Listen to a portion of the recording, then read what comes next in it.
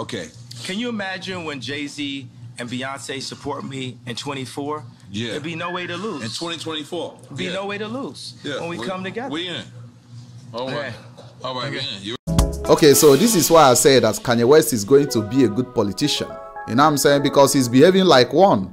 Check this out. Whenever politicians are campaigning, they promise you heaven on earth. And immediately they are being elected into the office, they switch. You know what I'm saying? That's how Kanye is behaving right now because he's literally switching on everybody.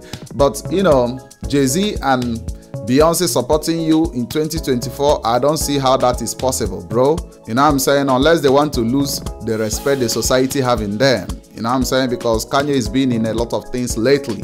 Because everybody is trying to avoid him right now. So, but I want to ask you this question. Are you really going to vote for Kanye if Kanye comes out, you know, to run for president in 2024? Are you going to do that? Comment below. I want to hear from you. Don't forget to smash the like button, subscribe, and see you on the next video.